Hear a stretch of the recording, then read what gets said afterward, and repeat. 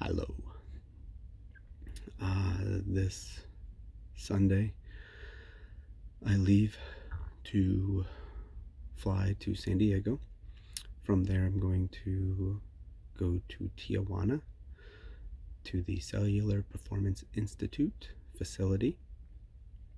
Uh, that is a facility that is well known for uh, doing stem cell therapy for individuals who have injuries. Uh, healing time is increased and it helps avoid surgeries. Um, why I'm going uh, earliest injuries to present injuries, I guess. So I have, uh, I was like 10 or 11, and I ruptured a disc in my L4 pressing against my sciatica. So I dealt with that pretty much my whole life. Um, just always having pain. Uh, it gets worse sometimes and not so bad others. Um, I have been in pain to where I couldn't walk for several days because of that injury. Um, then I also have uh, severely ruptured discs in my neck, in my C5, C7.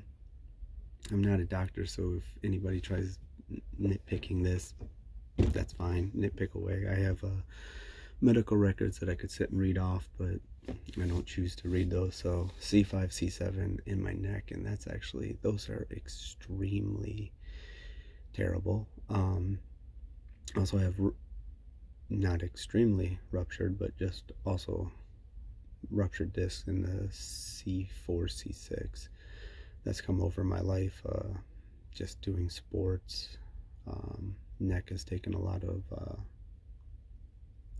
a lot of impact, I guess, enough to rupture the discs and severely rupture. Uh, as far as the neck goes, I had uh, partial paralysis in my right arm and I guess my right chest and stuff as well due to it um, to the point where it was causing atrophy in the, the arm and it uh, had a considerable amount of of size loss.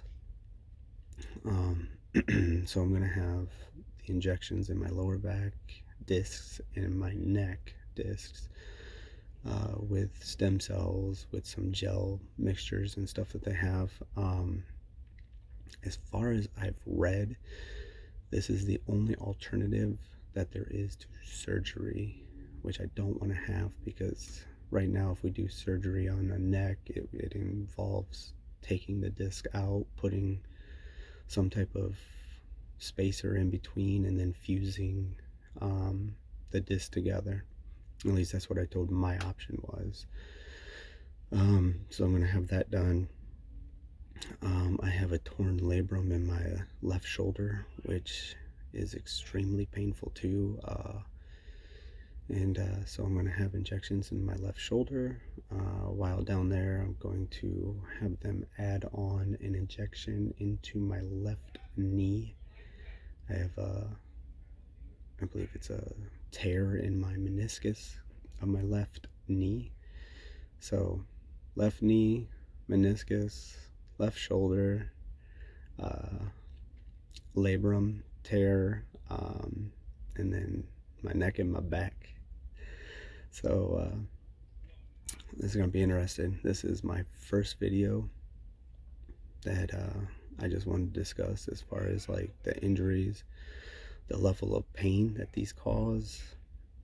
Uh, I just live with pain every day. It's uh, it's it's taxing on me um, and when they flare up it gets even worse. Um, there's no i don't take painkillers. Um, painkiller could probably help for like my knee and my shoulder but as far as like my neck um, there's no they uh, i think they prescribed me gabapentin or gabapentin or whatever it's called but uh, that doesn't really do anything. I mean when the and there's no if you don't have nerve pain, you don't understand it. Um, so if I have like a, um, like my, my shoulder with a torn labrum, right? I, I can position it into it and hold it in a position and, and the pain just will stop.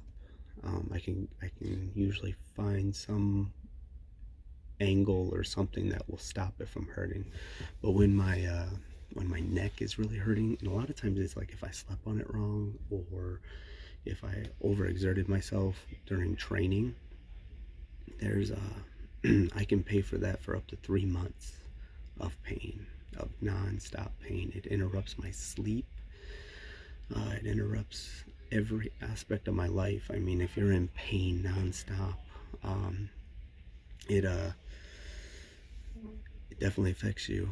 And uh, then having lack of sleep on top of it, it it's terrible. So um, that's just level pain. I'm not looking for sympathy or anything like that. I'm just explaining the fact that this is what I have, this is what I'm going through, and now I'm going to go to CPI. So I'm going to document while I'm in the Cellular Performance Institute as much as I can. Um, the entire all next week. Again, I leave Sunday. I'll be down there um, and documenting whatever I go through and everything that I'm doing. And uh, keep everyone posted. So then if it's uh, something as far as an alternative, so if anybody, any of you out here uh, decide that you don't want to have surgery and you want to try stem cells, at least you'll be able to use this as a reference. So I'll keep you posted.